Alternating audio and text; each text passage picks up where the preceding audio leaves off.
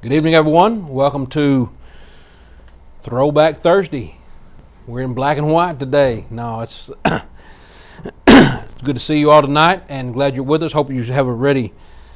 Uh, you're ready to study God's Word. Here's how you can reach me: uh, 276-340-2653.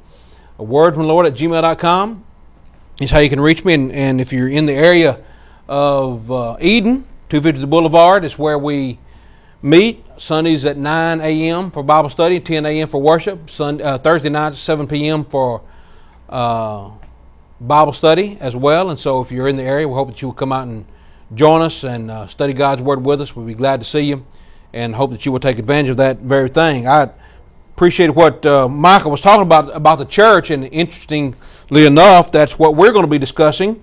Uh, something along the line about what God expects from the church and what God wants uh, the church to look like. You know, one of the things that we are always talking about, friends, is how to identify the New Testament church.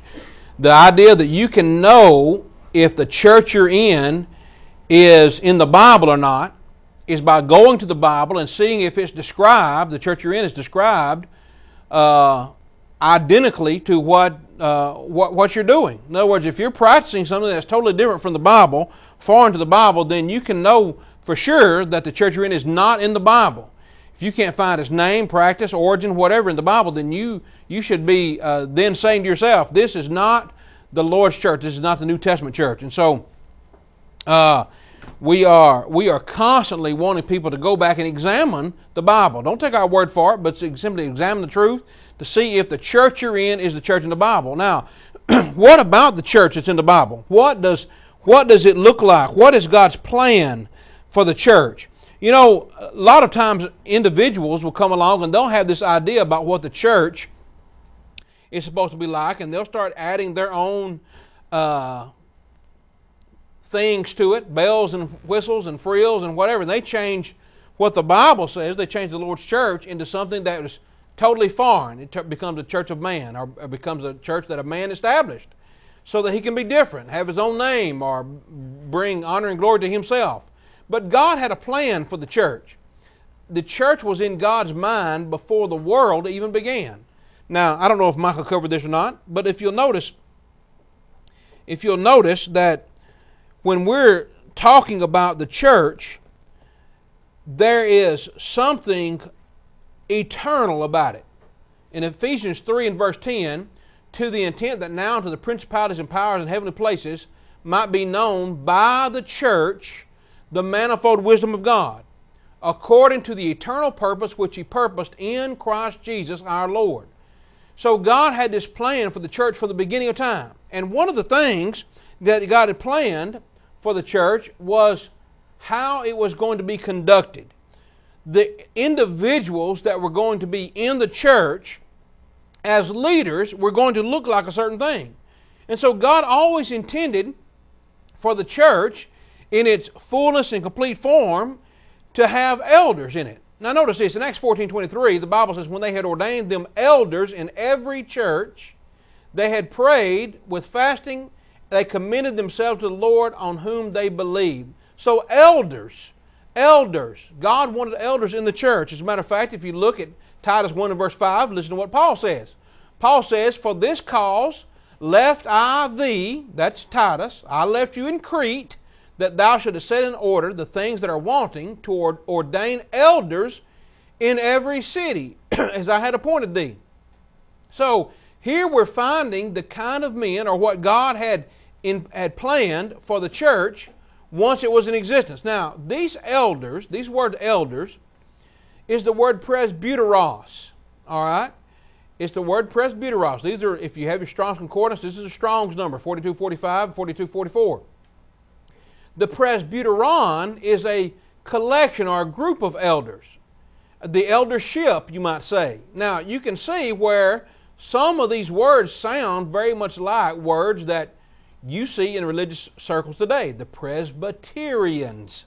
Presbyterian Church claims they have elders. All right, well, they're using a, a term or they're using a facet of the, the New Testament church to try to identify their particular brand of church. Now, just because the Presbyterian Church has presbyters or presbytery or elders in it, that doesn't mean that they're the New Testament church. They're just using a term that is that you find in the Bible. But God intended for the church to have these elders or pres, presbytery or pres, uh, uh, presbyteros, presbyterion. Uh, elders is what they are.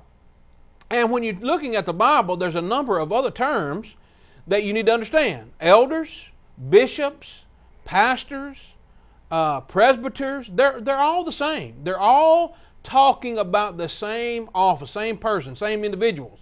Now, notice in Ephesians 4, verse 11, and he gave some to be apostles, some prophets, some evangelists, and some, and here's the word pastors, some pastors and teachers. Now, there's an interesting fact about this word pastor.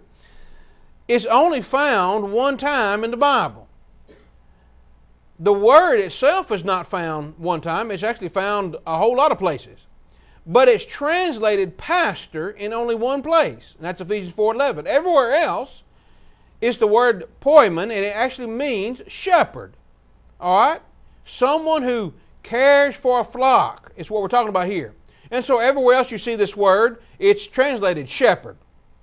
And so when you're talking about an elder, you're talking about a pastor, you're talking about a shepherd, someone who shepherds the flock. All right?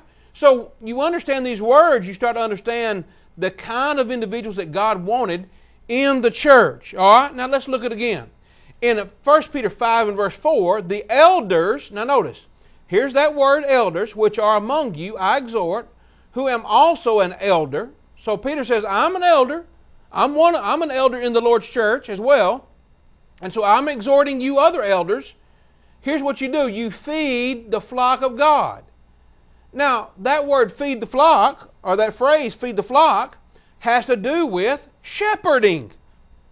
It's the word pastor. All right, so feed the flock of God, which is among you, taking the oversight thereof, not by constraint, but willingly, not for filthy lucre, but of a ready mind, neither as being lords over God's heritage, but being examples to the flock. And when the chief shepherd shall appear, he shall, you shall receive a crown of glory that fadeth not away. Now, notice what Paul, what Peter is saying here. He's using terms that all have to do with the office of an elder. And he's using terms like feed the flock, which refers to shepherd, or here's a word, this word oversight. This word oversight. now notice this. Oversight is the word episkopos, and it is translated bishop. It means an overseer, someone who oversees. So let's go back and look what Peter said. Peter said to the elders, Elders, you need to shepherd or pastor because God has given you oversight. He's given you to be bishops. Now, again, when you look at that word, episkopos, it sounds like, again, it sounds like a denominational term, the Episcopalian Church. Well, again, just because a group of individuals claim to be Episcopalian, that is, they claim to have overseers, does not make the Lord's church. They're just using a term that they found in the Bible. But when you're looking at the New Testament church, there is a way, there is a, a, a manner in which these men have to conduct themselves in order to be proper overseers in the Lord's church. Now, listen to what Paul said. Paul said in Acts 20 and verse 28, he said, Take heed therefore unto yourselves and to all the flock over the which the Holy Ghost hath made you overseers, to feed the church of God which he has purchased with his own blood. Now, again, we have an apostle that's using a number of different words that describe different functions of the same office, that is, elders. So, what does Paul say? Paul says, Take heed unto yourselves and to the flock. Well, they must be shepherds or something. Over which the Holy Ghost hath made you overseers, all right, bishops, to feed the church of God. There's, that, there's a shepherd again, they're, they're feeding the church of God, which he hath purchased with his own blood. And so the church that Christ purchased with his own blood has individuals that have to take some responsibility in this area. They're to feed the flock. They're to, to watch. They're to oversee the flock, to feed it. And it's the same term as bishop. Now, who did Paul call bishops? Who did Paul say was to be overseers? If we back up to Acts chapter 20, in verse 17, Acts chapter 20, and verse 17, listen to what he says. The Bible says, And from Miletus he sent unto Ephesus and called the elders of the church. So Paul sends for the elders of the church at Ephesus. The elders in the church at Ephesus, and he says to them, Take heed to yourselves, elders, and to the flock which the Holy Ghost hath made you overseers. So he tells the elders, Elders, God has made you bishops, and your job is to pastor or feed or shepherd the flock. That sounds like what, what Peter said. Peter said to the elders that they are to take the oversight and they are to feed. Elders, you are to shepherd or pastor the flock because God has made you bishops. See how that works? And so we're talking about different characteristics of the same office bishops, elders, pastors. They're all talking about the same office, the same, the same function. And this is what, what God had intended. So we have the elders being called overseers or bishops, and they're being told that they should do the job of a shepherd or pastor. Now, when we put this back in Titus 1 and verse 5. Now listen to this. For this cause, Paul says to, to Titus, I left thee at Crete that thou shouldst set in order things that are wanting, and ordain elders, bishops, pastors, in every city as I had appointed thee. And then he starts giving some qualifications for these men. He says, for a bishop. So the bishops, elders, pastors, uh, overseers, they're, they're talking about the same office, the same person. I find it very interesting. I always laugh whenever I see a sign. I pull up to a denominational church building, they have a sign out here for the, the pastor, you know, his, his chief spark parking spot. And it says, you know, pastor parking, elder bishop, some, some, something, something, something, something, something, you know, pastor. What is that redundant? I mean, we're saying, I mean, that's just a repetitive, repetitive, repeated term, right? Saying the same thing over and over. Elder, bishop, pastor. Elder bishop is the pastor. Well, what about the what about the pastor so and so being the elder bishop? Or maybe he's the bishop so and so and he's the elder pastor. Or maybe elder so and so is the passion bishop. Bishop. I don't know. Let's just mix up the words. Definition don't mean anything today, as I recall. But Paul is saying the same thing. He's talking about these individuals who have a certain function to feed, to oversee, to shepherd. Now, notice what the Bible says. The Bible, when it talks about elders, it always talks about more than one being in the church. God intended for the church to have more than one elder uh, conducting the function of overseeing and feeding the flock. Notice how the phrase is used. Ordain elders in every city. Acts 14 23. And when they had ordained them elders in every church. And again, Peter says in 1 Peter 5, verse 1, the elders which are among you I exhort. Neither as being lords over God's heritage, but being example to the flock. Do you ever stop and think that when you walk into your church and you talk about the pastor, or even the senior pastor, that that's really not how God designed it? God didn't talk about senior pastors. He didn't talk about a pastor in the church or a senior pastor. He had men in mind, he had in mind certain men in certain positions doing certain things to care for the, the governing of the church. Now, elders in every church. Now, someone says, well, James, Uh, what are the, what's the job of these elders? You know, do they have uh, all authority? Well, let's look what God says about this in Hebrews 13, verse 7. The writer says, Remember them which have the rule over you. Now that's the elders. The elders oversee the flock. They have, they have rule. They have a governance. They have the ability to govern or to rule. Obey them which have the rule over you, and submit yourselves, for they watch for your souls. Who's that? We're talking about the elders. The elders watch for your soul. They shepherd the flock. They oversee the flock. They're watching. As they that must give an account, that they may do it with joy and not with grief. And so the Bible says, yes, there, there is some uh, authority given them. They have responsibilities. They're shepherding the flock. If you had a if you had a shepherd watching your literal flock, your your your sheep out here, or maybe you had a uh, foreman on your ranch that's, that's taking care of your animals, you would expect them to carry on a certain function. If there's a sick animal, you'd expect them to go take care of it. If there was one missing, you'd expect them to go look for it. You expect them to feed it, feed the animals, feed the flock, feed the herd.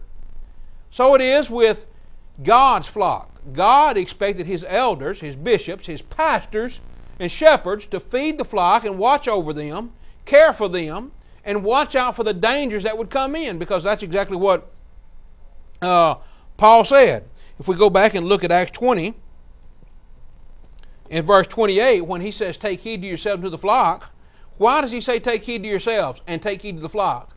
He said, For I know this, that after my departing shall grievous wolves enter in among you, not sparing the flock, also of your own selves.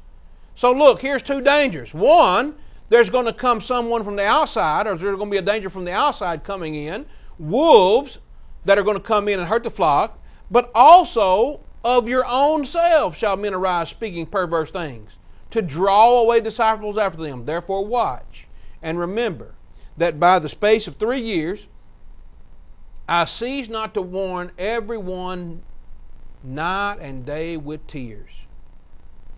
Paul knows there's dangers involved in shepherding the flock, and it could come from your own self.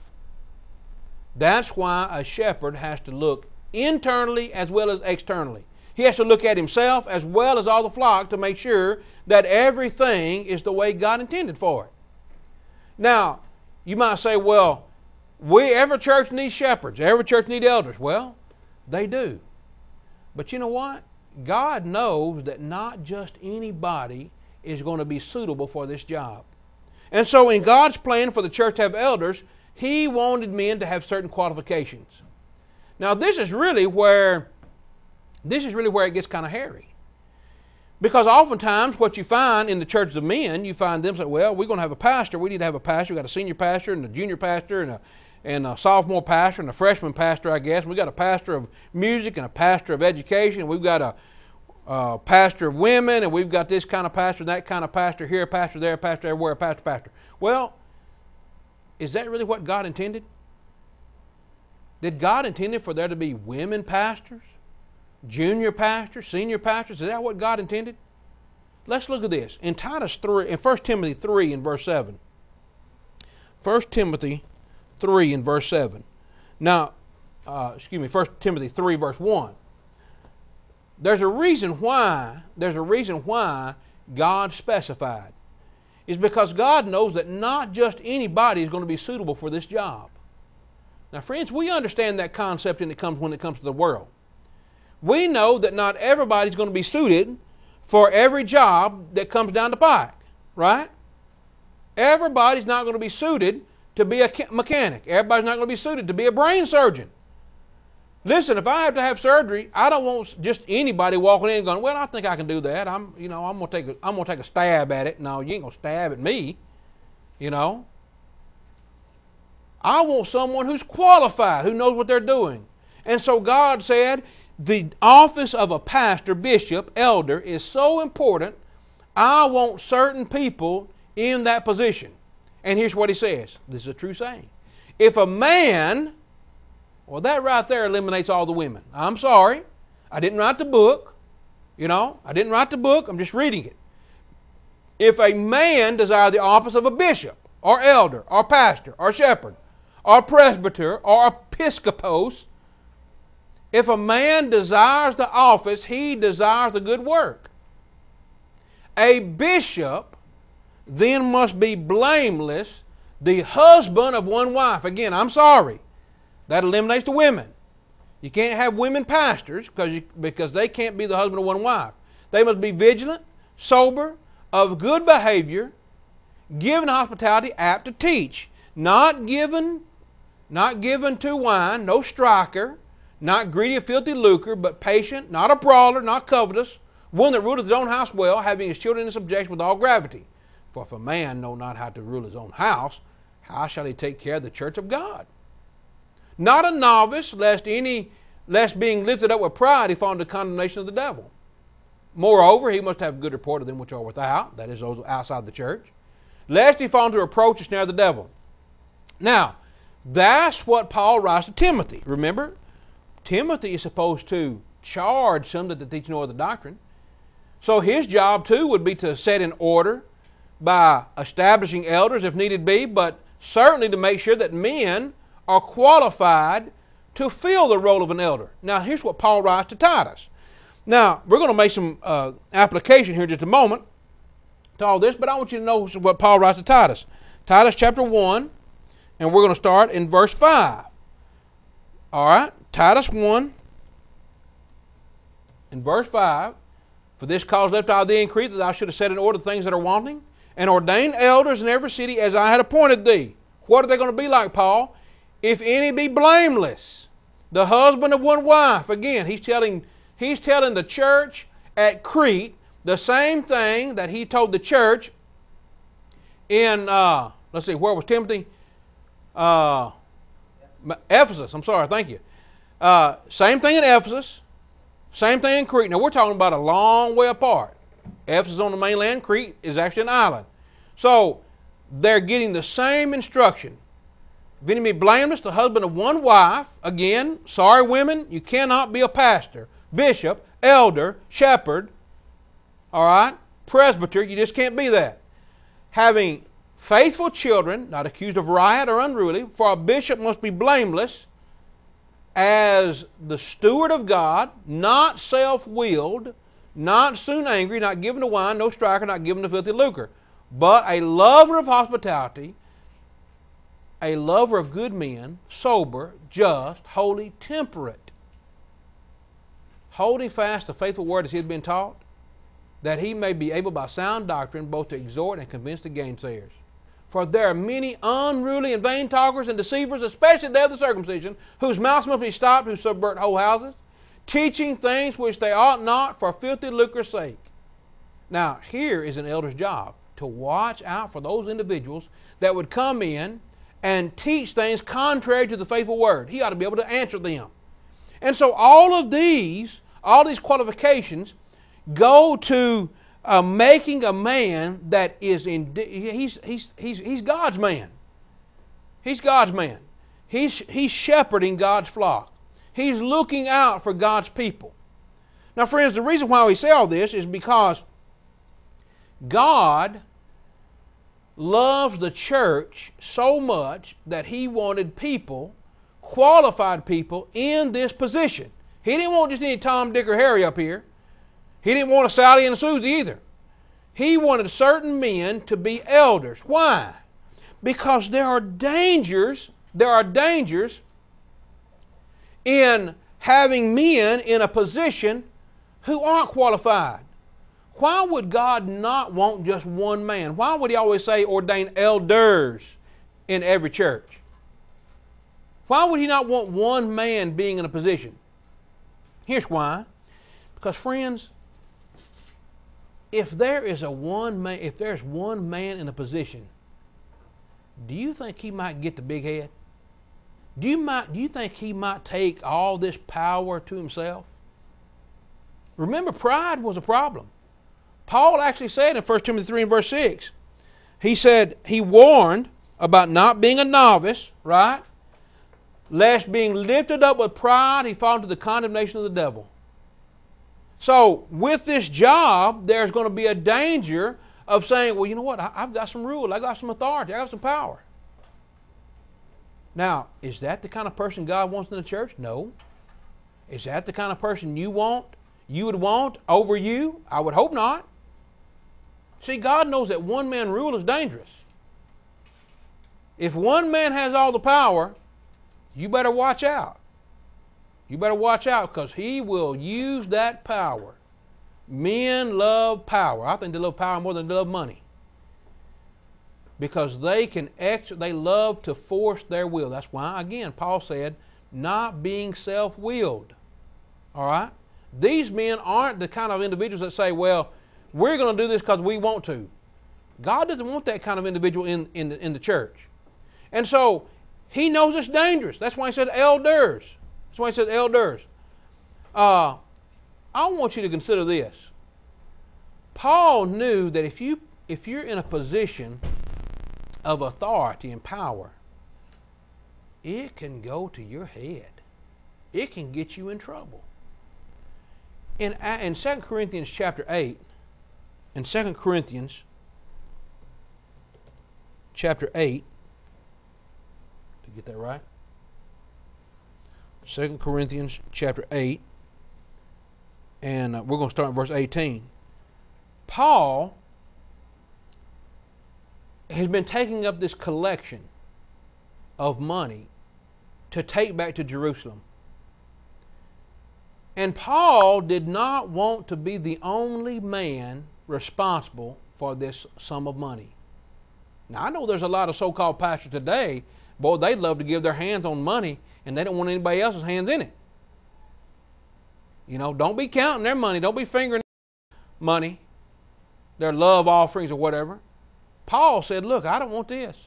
He says, We have sent with him the brother whose praise is in the gospel throughout all churches. Now, what's happened here? All right? Paul is talking about Titus, all right? Put the same earnest care into the heart of Titus for you, for indeed he accepted exhortation, but being more forward of his own accord, he went unto you. And we have sent with him the brother whose praise is in the gospel throughout all the churches. So here's two individuals that were selected to travel, and Paul said everybody knows these people. Everybody has given these, these folks have good report.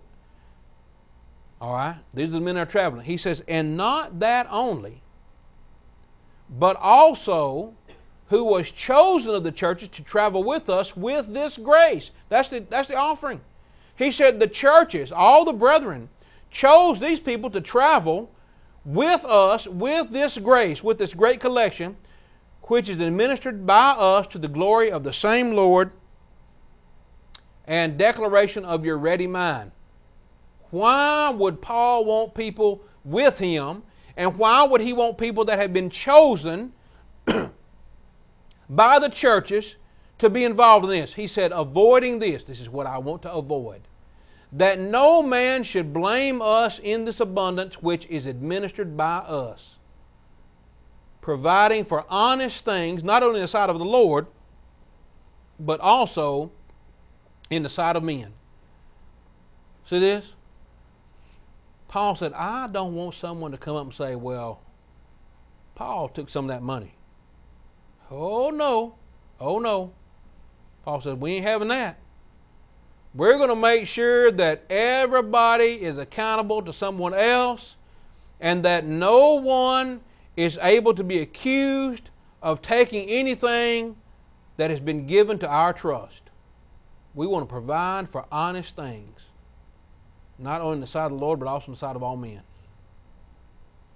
See that?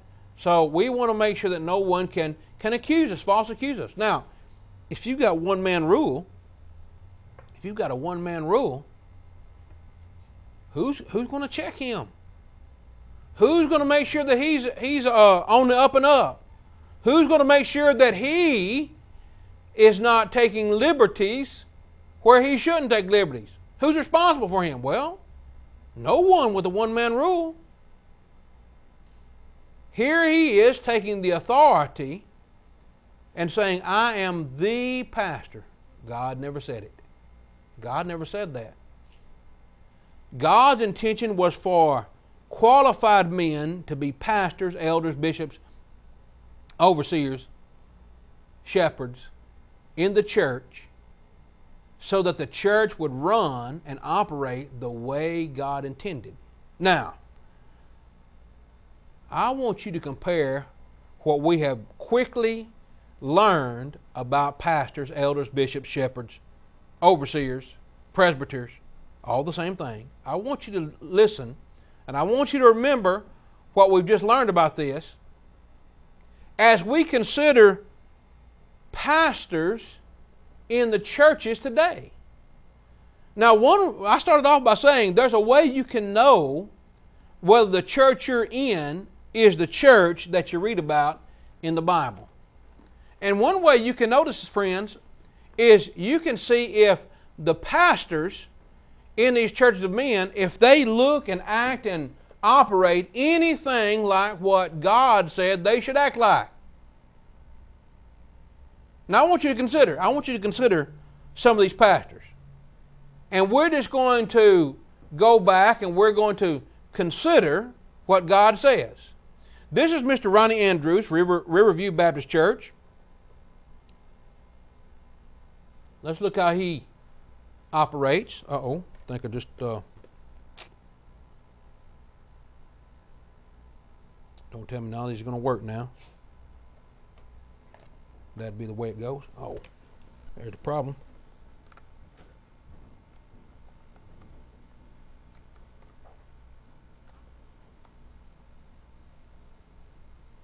Gotta gotta plug and unplug.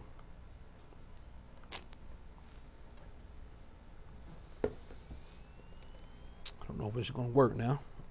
Give it time to fire up.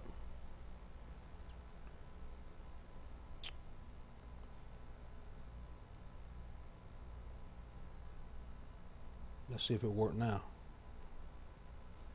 Might not.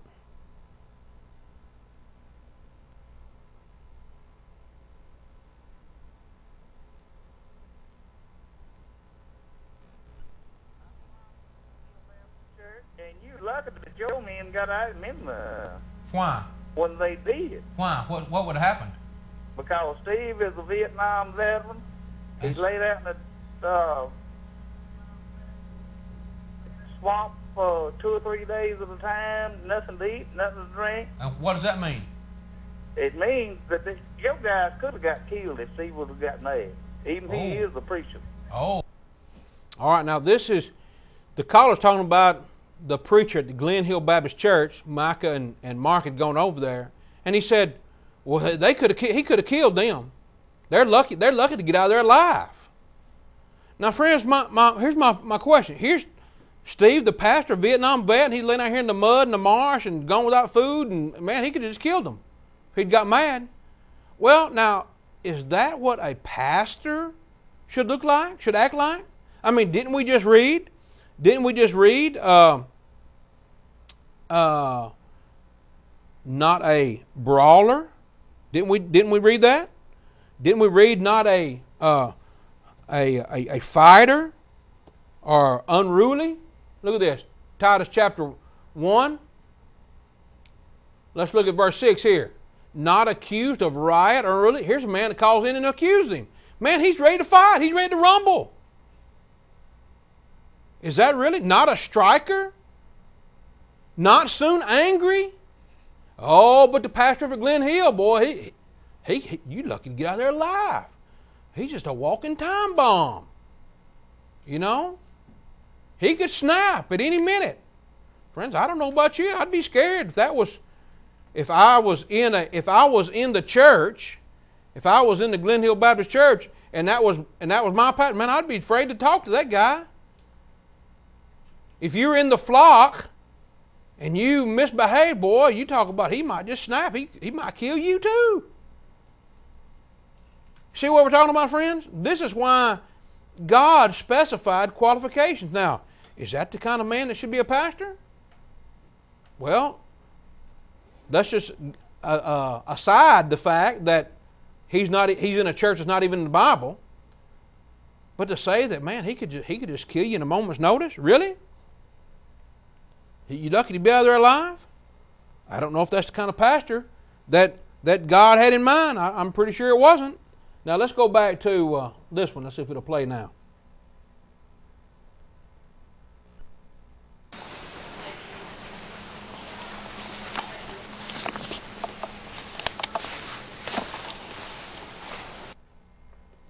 We able to ask questions now? No, sir. I've told you once to get out of my property. Now I'm gonna call the cops and get y'all from my property. Well, you actually said Wednesday evening that we could come No, back sir. and ask questions on Sunday Bible See class. you. I'll let you go. So is this how a servant of the Lord is supposed to act, sir? You can call it what you want to, but if you don't get off our properties, I will have you arrested. That's my last warning. Are you really going to act like this in front of your members, sir? All right, sir. I'm gonna call the police right now. If you show back up again, you will be dismissed. You can leave one or two ways. You can leave peacefully, or you can leave by the cops. It's that simple. All right. Don't come back on this property again. None of you. All right. I was just calling to see if you're going to change your ways with the way you're acting. That's fine. You let me be the worry about ways. You worry about your ways. Okay. Get off our property. And if I see you on here again, I promise you, the police will be called and we will have a dispute. You do not come into a service and mess up a religious thing. Whether you believe the way I believe or not, I don't care. Videotape me. I run the devil out of our church. So get out. Don't come on this property again. Understand me. All right. Well, as I All leave, right. as I leave, I hope you read 2 Timothy 2.24. I hope you read too, son. You worry about your own problems. You get out of my business. All right, now let's go back. To, let's go back to these qualifications. No riot, unruly. No, that, that that can't be a pastor. Surely not. You know, aside from the fact that he's the pastor. See, he automatically not qualified there, but he is right, not soon angry. Boy, you talk about angry. What about what about temperate? Didn't we read that as well? Titus uh, chapter one, verse eight. A lover of lover of hospitality. Here's temperate right here. That means self-controlled. Uh, a lover of hospitality. I don't know about you. You know, this word actually means, you know, you welcome welcome strangers. It's it's love of strangers. It's philoxenos. Xeno is strange, and philos or philo is love. Love strangers. And here's a man who goes, Get out, get out, don't come back. Even though he said you could ask questions later, no, we're not going. Well, now let, we need to bring up apt to teach, I guess. I thought you were supposed to teach people. I thought you were your your job was to teach or educate. See that? Now, now, friends, we're talking about we're talking about pastors. We're talking about the pastors in your churches. And all I'm saying is, do they even look? Does they even look like the church you read about in the Bible? Let me tell you, if this man, if this man was a pastor in the Lord's church, well, he wouldn't be. He wouldn't be. He, he's, not, he's not even remotely qualified to be a pastor. Not with behavior like that. Now, let's look again. Let's look at another one. This is uh, Calvin Adams, Grace Baptist Church in Eden. And uh, listen to what he says. Hey, hey, how you doing? What's up? Passing out flyers about our church service, inviting people to come down, be with us down here on the boulevard, 250 the boulevard. Well, if I found any of mine coming down out when they're supposed to be here, I'd shoot them. I'm assuming you're the pastor. I am a pastor. Well, if I found any of mine coming down out when they're supposed to be here, I'd shoot them. I am a pastor. Yeah, I'd shoot them. Yeah, I'd shoot them. All right. He found anybody coming down to study the Bible with us when they were supposed to be in his church, he'd shoot them. Let me think about this again. Again, we've got temperate issues, right? We've got anger issues, not soon angry. We've got shepherding the flock, caring for the flock. I don't know about you, friends, but if I had somebody watching my flock and he started shooting them, boy, he'd be fired. What do you mean shooting my animals here? You're supposed to be caring for them. He loved them so much he's going to put a bullet in them. He's going to shoot them. Now, really, friends, is that, is that, is that a pastor? When, I, when we went down on this occasion, uh, on another occasion we went down, we were actually invited by the, the preacher, the evangelist that was holding a meeting for Calvin Adams. And we went down there, and he wouldn't even answer questions. He said, You teach another gospel. You're welcome to come in, but you need to be respectful. Stand up when we sing, but you're welcome to leave. Don't come back. Well, which is it? Can we, can we come or can we leave? We just came to ask a question. No, we're not going to ask a question. Well, let's talk about this for a minute. What about this? What about Titus 1 and verse 9? Here's what a pastor should be doing holding fast the faithful word as he has been taught, that he may be able by sound doctrine both to exhort and to convince the gainsayers. He wouldn't even want to talk to us. He wouldn't even ask a question. He wouldn't even let us ask a question.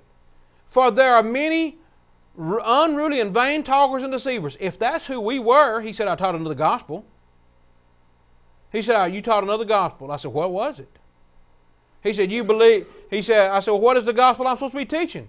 Jesus Christ uh, died on the cross for our sins. I said, I believe that. He rose again on the third day. I said, I believe that. He said, You believe that you have to be a member of the Church of Christ to be saved?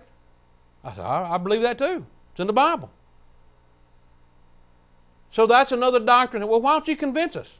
Why don't you stop our mouths? See, a pastor could do that. And by the way, let's just take notice. Uh, let's just put all the elders in the in the Lord's church on notice here. Brethren, if you if you can't stop the mouths of the gainsayers, if you can't answer false doctrine, you need to check whether you're meeting the qualifications too. You need to be able to stop the mouths and convince the gainsayers.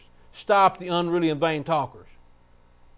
It's not the, it's not the preacher's job to do that. It's your job to do it.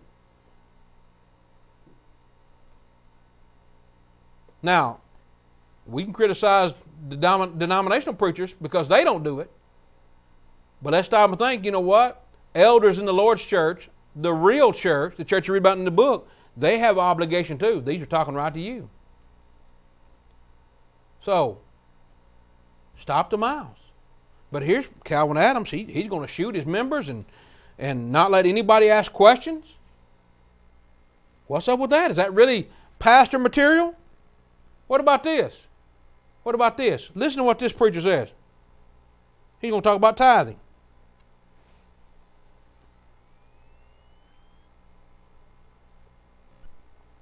Now, let me show you something here. Hebrews chapter 7. Now, again, I'm just sharing this for your own good.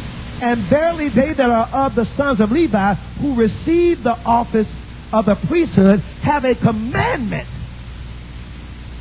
in other words, if they did not take tithes from the people, they were disobeying God. Now, if this is a better covenant, if priests, ministers of the gospel do not receive from the people they're ministering to, they are disobeying God. Now, you get that? He said the Levites had a command to take tithes of the people. Therefore, if preachers today don't take tithes from people, they're disobeying God. Really? I said, let's see, didn't we have a qualification of an elder? Oh, I know. Yeah. Wasn't it something about filthy lucre? Right? Uh, I believe in 1 Timothy chapter 3, I believe uh, Paul said, uh, let's see here, 1 Timothy chapter 3, uh, Paul said that he is not greedy of filthy lucre and uh, isn't is that uh, wouldn't that be the about what we're talking about here? Lover of covetous, not covetous, not greedy of filthy lucre. And here's a man going, yeah, we don't take tithes. We're disobeying God. Yeah, you got to take the tithes. Friends, God never commanded tithes in the New Testament. It's a better covenant. How about this? How about give as you've been prospered, as you purpose in your heart, 1 Corinthians 16. 2 Corinthians 9 7. Now, this is the kind of pastor, this is the kind of pastor that's going direct opposite of what God said about pastors in the New Testament. So, is he is he meeting the qualifications? You see the problem we're having here? God wants certain kind of men, and this is what this is what the world gets. Let's look at one more. Now listen to this caller. This caller calls in and he says he's a pastor, but he has a problem with tithing. And listen to the admonition, maybe rebuke, that he gets from the other quote unquote pastors. And uh, my question is about tithing. I believe in tithing. I, believe the laborer is worthy of his hire. But I have a real big burden on my heart. I, I've been watching this show a long time. I hear a lot of struggling people calling in saying that uh, they can't afford to tithe. It's damaging their marriage. Uh, all these real sad stories. And, and I'm a minister. Uh, I spend a lot, a lot, lot of tithing money, a lot of my own money, helping these poor people who can't help themselves. I, like I said, I do believe in tithing, but I also believe in mercy. Uh, and I, I, I believe that when we, we should do our best that when we find we can't, I believe God will forgive us our debts, but I also, you know, uh, We, we um, need, we need, sir, thank you so much for calling, but I need you to synthesize your question. And I just want to basically, know. I, I just want to know if I'm wrong. If I'm wrong when I when I, I don't take tithes from from some of these real poor people in my flock. Mm. praise the Lord. Uh, Matthew 10, 8, and I guess the companion question is that, is he wrong when he doesn't take tithes or extract tithes from poor people in his congregation? Hallelujah. Yeah. Uh, pass them out. Um, uh, yes, Gage. Uh, let me let me address this. Um, Gage, it says there in the third chapter of Malachi for uh, the people to bring the whole tithe into the storehouse. You, you see, we understand that tithing is a thing of faith. Okay, where you don't have the money and you don't quite understand where it's going to come from, but you know you're going to trust God and give Him a tenth of the little that you have. It is a thing of faith. And let me say, uh, those people who are who are dirt poor and trying to tithe, um, they are working to exercise their faith, and they're they're leaning on the promises of, of God, hoping for God's blessing, and uh, don't deprive them of that. Don't cheat them out of that. So those dirt those dirt poor folks, you need to make sure you get their ten percent. Now here, you see what I'm saying? The man's calling in, going, you know what? I feel bad because I know they're, you know, they're on limited incomes. They have very very uh, small amount of disposable income, or they're hurting here and there, and different things troubling them. And oh no, no, you make sure you know, make sure they give their ten percent. See, friends, now is that is that covetous? Especially when the Bible says, "Give as you've been prospered, give cheerfully." Now, these are the kind of pastors that that are in the church of men, and who who made these men rulers? You know, it reminds me of, of Acts seven twenty seven, when uh, uh, Stephen is talking about Moses, and what did they say to Moses? What did his, brethren say about Moses? Who made thee a ruler and a judge over us? Who, who, who put you in charge? Who put you in charge? Verse 35, they said, Who made thee a ruler and a judge over us? Who, who is that? Who put you in charge? You know what? I'm going to tell you, friends, you know who put these men in charge? You know who put these uh, riotous, covetous, greedy, uh, afraid to answer, quarrelsome, hateful men in charge. You know who put them in charge? You did. You put them in charge. You put them where they where they are. You actually said, "I'm going to let somebody be one pastor, one man, and have all the rule over me, and let him do what he wants to. Tell me what to do, and I'm going to do it." If he tells me I've got to give a love offering and a charity offering and a free will offering and a tithe offering, I'm going to do it. You know why? You know why? Because you haven't checked out the Bible. You haven't examined what the Bible said, and therefore you vote these guys in to be a dictator, really, over you. Here's Randy Linderman, formerly of Druid Hills Baptist Church in Martinsville.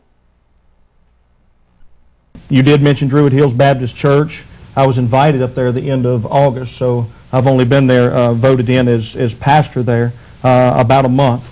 All right, so he was voted in as pastor. Voted in as pastor. Here's a lady called in, and she's going to talk about Brian Edwards. All right, here on What's the Bible Say? I go along with Brian Edwards because Brian is a true Christian man. He preaches the Bible. His church is a spirit filled church. His church. And You I that go right. along with eh, with the way that he preaches and gets his message across. Well, ma'am, let me ask you this Blessed question. are the peacemakers. Ma'am, let me ask you this question. In, in his statement in 1 Corinthians chapter 1, the Apostle Paul said, Am I crucified for you? Does Brian, was Brian crucified? Does he really have a church? Well, he preaches the word of God. Okay, we're going to correct that statement now. You see, that's what we do on What's the Bible Say. We're constantly helping you. The Bible says he doesn't have a church. He didn't die for anything. But actually, Blessed Hope Didn't is his church. anything. Excuse me? But he is a he is a spirit-filled preacher How do you tell that?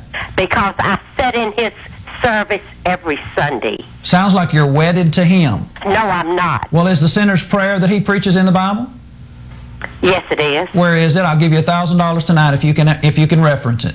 Well, he preaches the Bible. Well, how about he gives it to you? He's your preacher. He preaches. I, I can give that to you. Uh, Go ahead and give it. Go ahead and give it. Go ahead and give it. All right. No, see, I, I sit in his church. I listen to him. He, he's, he's the yeah. Give, give him the answer. She couldn't give him the answer.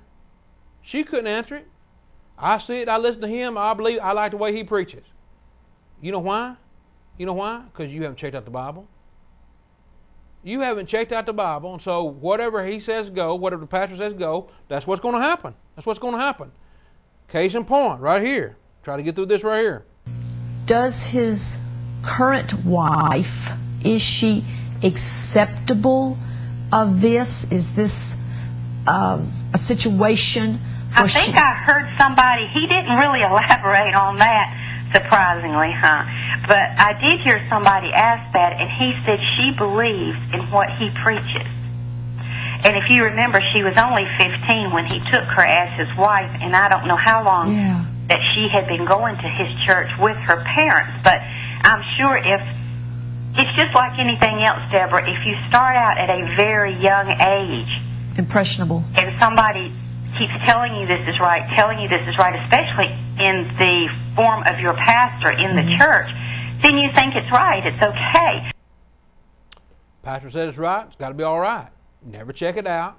Never looked at it. Never examined it. Right? I love this. I'm in Jackie's church. Jackie's church. Jackie's rules.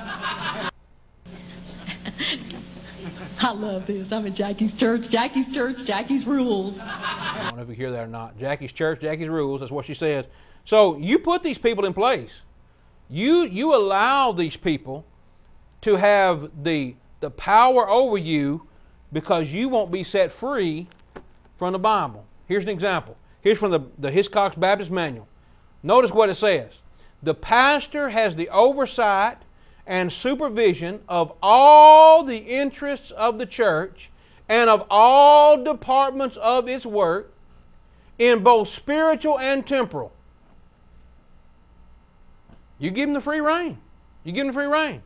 He should not needlessly interfere with the deacons or, or trustees or Christian education workers, nor assume dictatorial authority over the others, but you put him in a spot and you know he's going to take it. You know he's going to take it when he gets in that spot. It is his privilege and duty to hold a watchful supervision over all the work of the church, and the uh, pur- and the purposes of Christ may be uh, served in every way possible. You, but you put him in a position where he's going to take that authority. There's there's a guy in, in Eden that uh, I've only been told this. I'm still checking it out, so I won't call his name. But I know he's been in five different churches. He's come in as pastor, five different churches, spends the money, and then goes to another church. Well, you, you let him in. You let the wolf in the hen house.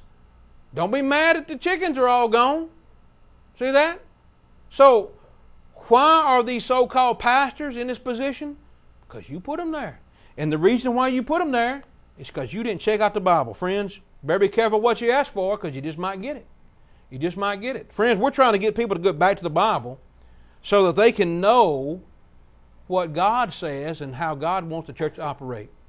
The Church of Christ, we stick right with the Bible. If you want to study with us or have a Bible study, we'd be glad to do that. Here's how you can reach me 276 340 2653. I'm running out of time. So I'm going to give you this one last admonition, friends. Don't settle for something that's not in God's Word. Always make sure you're asking and get a word from the Lord. Have a good night.